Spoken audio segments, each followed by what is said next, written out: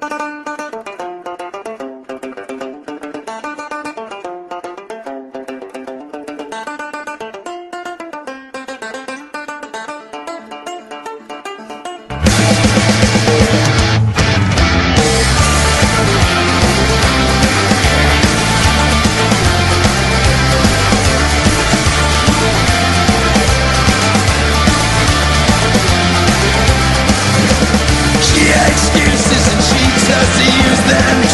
A victim of unspeakable abuses. Her husband was violent, malicious,